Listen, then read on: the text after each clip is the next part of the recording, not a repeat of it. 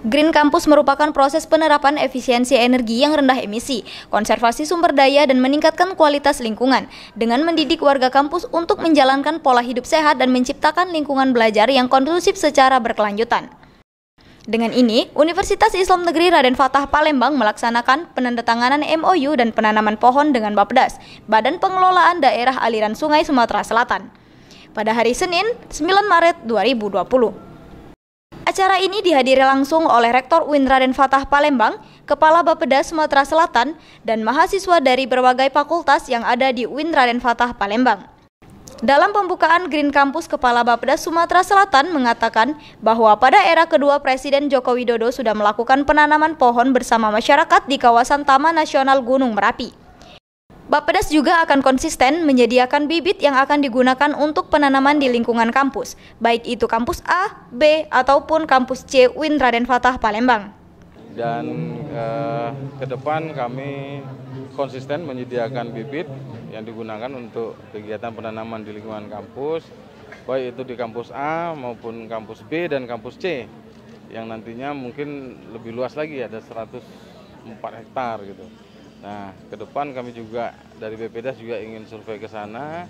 Kita coba analisis tanahnya dulu, kemudian kesesuaian uh, tumbuhan terhadap tanahnya dan mudah-mudahan nanti uh, ke depan UIN Raden Fatah bisa menjadi kampus yang benar-benar hijau dan asri sehingga uh, mendukung semua kehidupan sivitas akademika di sana. Terima kasih. Raden Fatah Palembang mengatakan bahwa penanaman pohon sudah berlangsung sejak lama, khususnya di kampus A UIN Raden Fatah Palembang. Dengan ini, Rektor mengharapkan kepada Bappedas untuk terus mensupport penanaman pohon selanjutnya.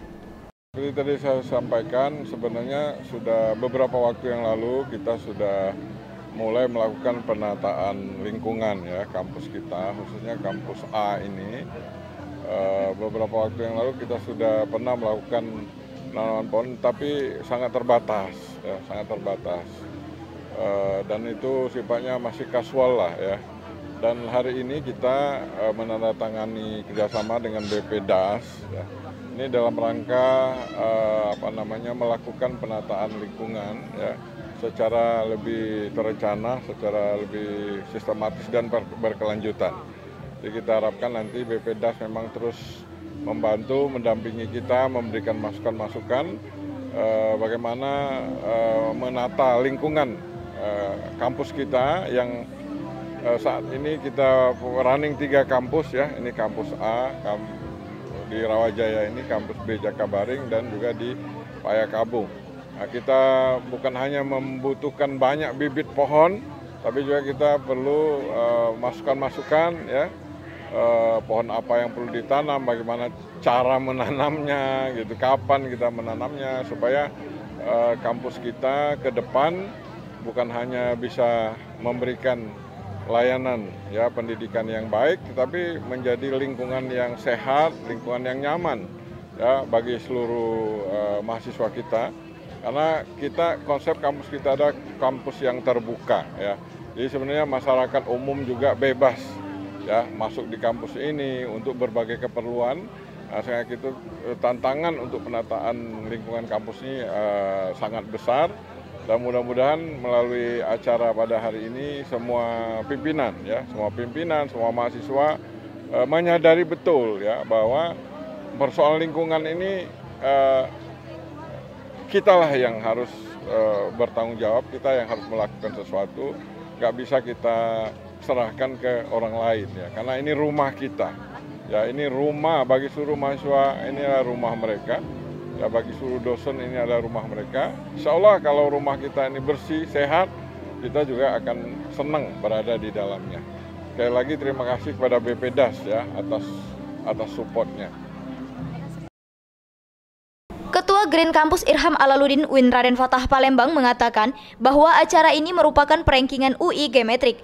UIN Raden Fatah Palembang pada bulan Mei 2020 ke depan akan mensubmit menjadi anggota UI Geometrik yang merupakan salah satu kampus hijau di dunia. Ada 10 jenis tanaman dan 500 bibit tanaman yang sudah disediakan oleh Bapeda Sumatera Selatan.